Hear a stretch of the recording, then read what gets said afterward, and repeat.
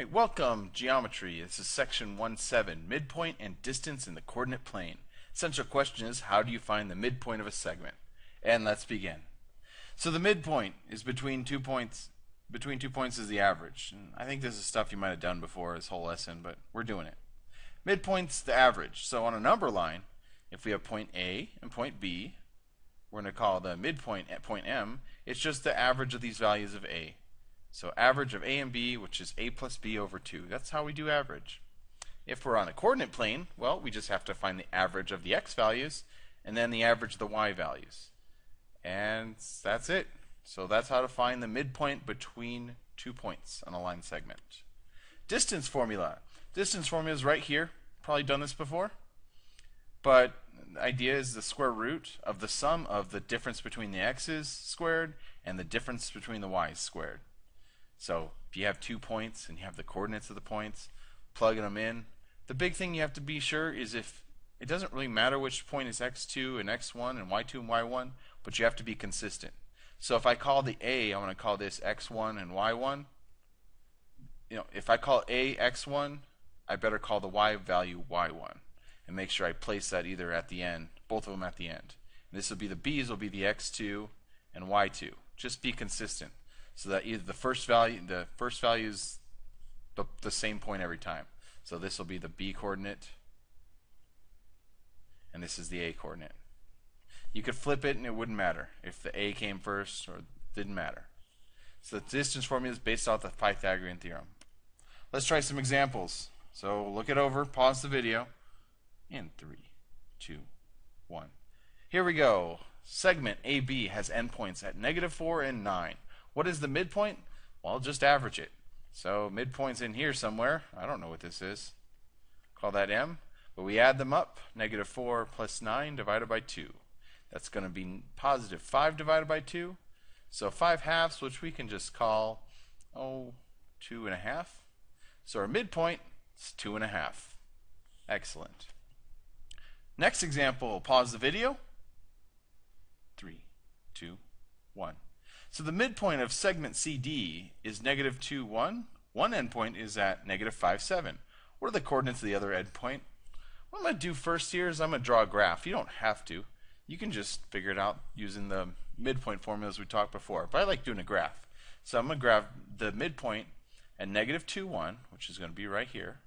Label that M. And we're going to put C at negative 5, 7. So 1, 2, 3, 4, 5, then up 7. 1, 2, three, four, five, six, seven. So right here, and then I got to find the point D, and that's somewhere down here. Don't know where, but I'm just going to have to do some math. So I know the midpoint formula. We got to do the x value and the y. So we're to do the x value first. The midpoint for the x, I'm to just call this x, is going to equal whatever the value of, of c, the x value, we're to find the average, negative 5 plus we'll just call this, uh, geez, x sub 2 over 2. Because the average between one point that we know and one point that we don't know, d, whatever that is. So, and we know the value of the midpoint is actually not x. I messed that up. It should be negative 2. So negative 2 equals negative 5 plus x over 2. Well, let's solve this. Let's actually just erase everything. This looks terrible. Not going to edit, just going to go. Negative 2 equals c's value for x, negative 5 plus x, I'm just call it x now, over 2. So I've got to solve for x. All right. First thing I want to do is I want to multiply both sides by 2. Because multiply by 2, these 2's are going to cancel, cancel. I don't like the fractions. I want to get rid of those first. So I get negative 4 equals negative 5 plus x. And then the next step is, well, let's just add 5 to both sides. So if you add 5, you're going to get x equals 1. So that's the x coordinate. So we got, we're right here somewhere. Now we got to figure out the y coordinate. So for the y coordinate of D, we're going to plug in. The midpoint's at 1. So that's going to be 1 equals the c value, so 7 plus, I don't know, y over 2. And we're going to solve for y this time. So first, I, I don't like fractions. I multiply by 2 on both sides. So then I get 2 and cancel, cancel, equals 7 plus y. subtract 7, and I'm going to get, cancel, cancel, y equals negative 5. So y equals negative 5. 1, 2, 3, 4, 5. So right here. So let's, let's see if this works out, just for fun, hey? So if I do a segment CM, it's like this. And if I copy that segment, it should pretty much line up. If I copy another one, hey, yeah, that worked pretty well. So that looks like it's right. Excellent job. So the value for D is going to be 1, negative 5. That are the coordinates for D. Last one. Pause the video. Two. All right, this is using the distance formula. So what is the distance between these two points? Round to the nearest tenth. So my D equals, well, I'm going to label these first. Just, just uh, help me out. I'm going to call this x1 and y1.